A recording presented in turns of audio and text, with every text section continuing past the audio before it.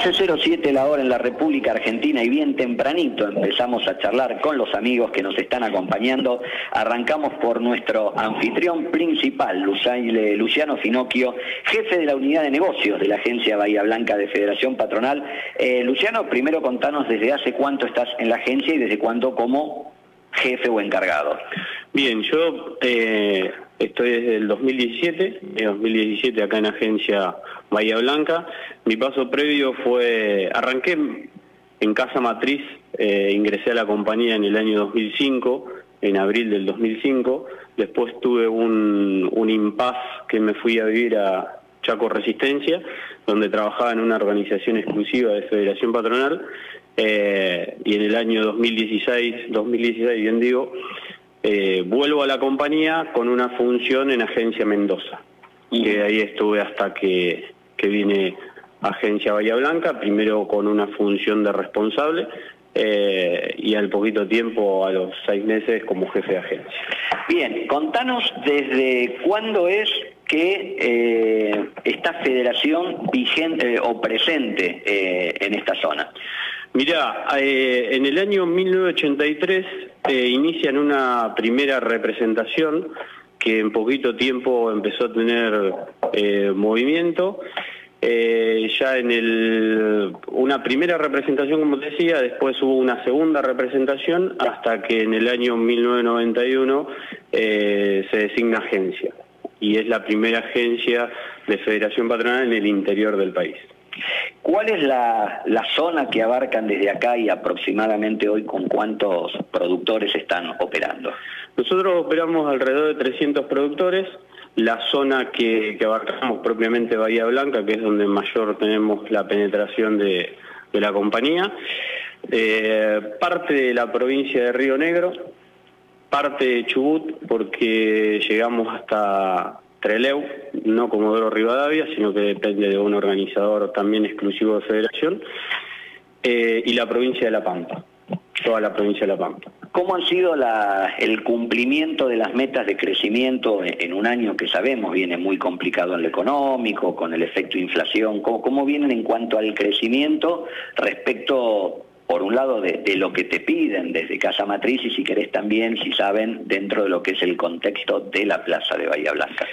Mira, eh, como te decía, nosotros atendemos tres provincias diferentes, las tres provincias son bastante eh, particulares pero con la compañía de, la mayoría de los productores, sinceramente que hemos logrado eh, ir por encima de la inflación en cuanto al primaje de la agencia y el movimiento y un crecimiento en cantidad de, de, producción, de, certificados, de certificados como los medimos nosotros. Después le voy a preguntar a, cada uno de los muchachos su visión desde la, tarea que desarrollan en cuanto a la plaza, pero ¿cómo la definís vos a cargo de la agencia? Entendemos ciudad grande, competencia de los principales operadores del mercado, mucho productor también suponemos un tema de frecuencia y mucho siniestro. ¿Cómo es tu día a día cuando analizas eso? Y realmente hay, eh, particularmente Bahía Blanca, hay mucha competencia. No nos olvidemos de que eh, las principales compañías tenemos agencias, entonces la atención y, el desarrollo a los productores eh, es bastante movido. Eh, exigen, tenemos productores exclusivos, tenemos productores consecuentes, pero realmente hay que acompañarlos como para que ellos puedan defender sus carteras, en nuestro caso eh, la que tenemos vigente en Federación.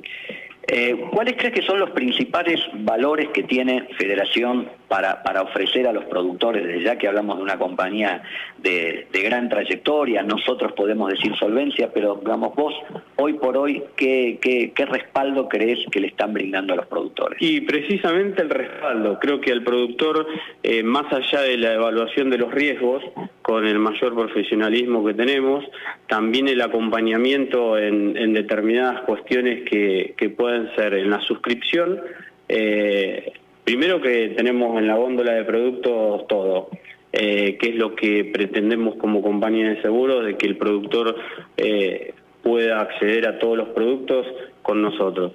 Y por el otro lado, como te decía, el acompañamiento y me parece que cuando el productor necesita o se ve en alguna dificultad que, realmente la compañía esté a su lado. Eh, déjame mandarle porque lo veo que está conectado y manda saludos al, querido amigo Julio Alberto Gómez. Em, contanos un poco lo, que fue, ¿no? Ya casi podemos decir que salimos, pero lo que fue todo el trabajo en pandemia, ¿no? En lo que significó eso localmente, obviamente cada región con su particularidad de, lo que ocurrió en esa situación. Y eh, realmente la pandemia nos sorprendió a todos, algo muy novedoso, y sinceramente el primer tiempo de la pandemia, eh, la compañía, afortunadamente, y realmente lo que significa tener los 100 años y lo que significa eh, tener la tecnología que tenemos, eh, avanzó en muy poquito tiempo y nos dio herramientas como para eh, tratar de contener la, cartera, tratar de acompañar a los productores, que los productores tengan herramientas para no solo cuidar, sino que tratar de, mantener un crecimiento y no verse eh, no verse disminuido en su ingreso, ¿no? pero creo que se respondió muy bien vuelvo a insistir, con la tecnología que tenemos y el servicio que brindamos en plena pandemia, eh, quedó marcado lo que es Federación Patronal. Eh, como decías, una compañía que tiene en su menú la totalidad de las coberturas, la totalidad de los ramos, pero sabemos siempre que, salimos al interior que pesa y mucho en las carteras de los productores el tema automotor. ¿Cómo vienen con ese trabajo en mejorar el, el mix de coberturas?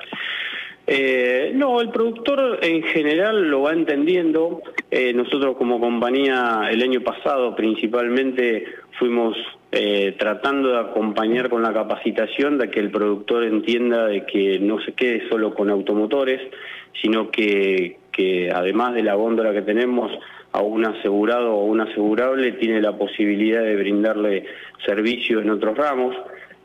cuesta, es difícil, principalmente en el interior, que no hay tanta cultura aseguradora en determinados ramos, eh, pero creo que ahí es donde tiene que estar eh, Enrique Barofio como comercial, acompañando al productor, o mejor dicho, eh, ayudándolo y, y estando en cada uno de los asegurados en qué desarrollo puede hacerle. A nosotros, el self, que para nosotros es el la herramienta fundamental eh, precisamente tiene, tiene posibilidades de que el productor haga su autogestión eh, con los propios asegurados.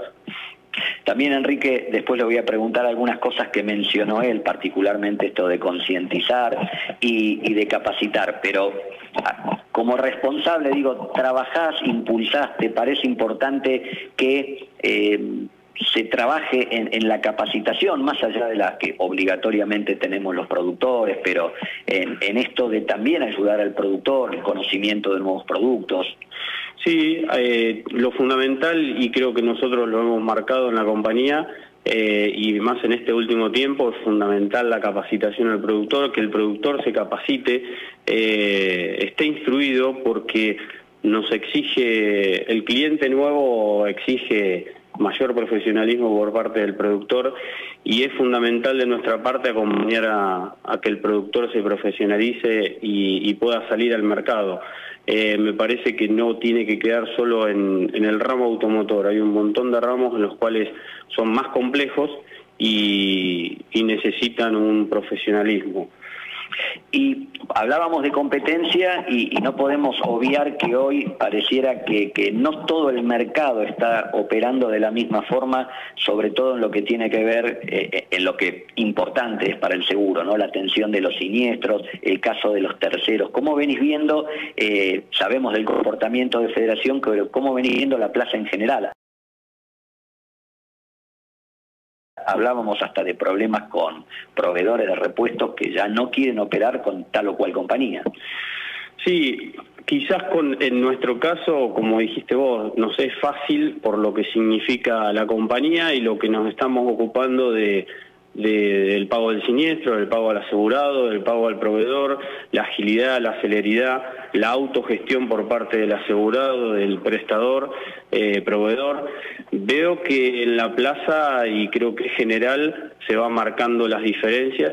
Eh, nosotros, por suerte, eh, y vuelvo a insistir, por, lo que significa la compañía, en la atención es muy buena, podemos llegar a tener como en todos lados, ¿no? Pero eso lo valora el asegurado, el prestador, porque en la calle el prestador sinceramente lo, lo dice, los productores, le da la tranquilidad, les da el respaldo, pero veo que hay una alta siniestralidad, va creciendo la siniestralidad en el ramo automotor, en combinado familiar, pero principalmente en automotor tenemos el, el, gran tema complejo que son los repuestos, que eso demora la atención, pero creo que en ese sentido se va tratando de solucionar para darle respuesta al cliente.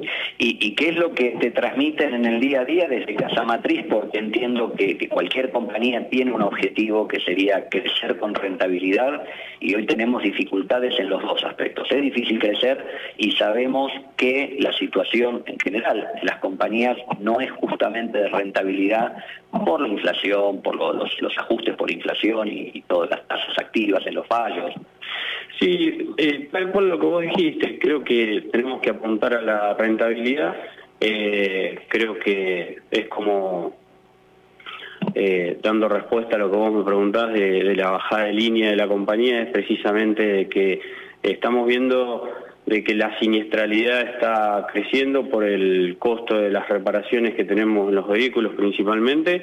en el caso de las coberturas de todo riesgo, eh, actualmente la mayoría de los siniestros eh, tenemos un alto porcentaje que están eh, superando la franquicia y creo que apuntamos a eso, a la rentabilidad, porque se está haciendo complejo, ¿no? El poder por la competencia misma que tenemos al momento de, negociar nuevos asegurados y hasta con la misma cartera tratar de contenerla por esa competencia de, cantidad de compañías que tenemos en el mercado. Están cumpliendo 100 años, no sé si se hicieron algún tipo de evento, ¿tienen preparado algo más adelante por este tema?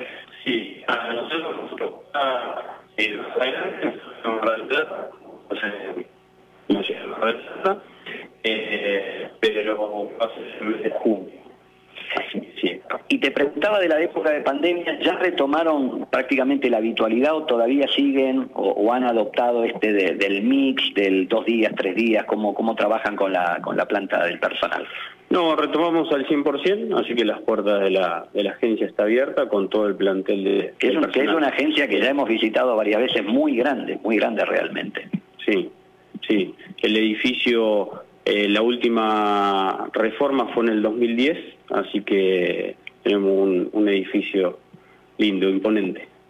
Sin duda. Eh, objetivos ya están planeando, ya hay, se está trabajando sobre lo que va a ser el ejercicio a partir de julio, qué, qué es lo que, lo que se está empezando a cocinar en materia de, de balance? Mira, precisamente eh, con tema tarifa y, siniestralidad y rentabilidad estamos apuntando a, visitar a los organizadores y a los productores de que eh, justamente queremos que haya rentabilidad, mantener el respaldo que tiene la compañía, que tiene por muchos años, eh, pero sí apuntamos a que el productor entienda de que la elevar franquicias, elevar la tarifa es eh, en beneficio de todos.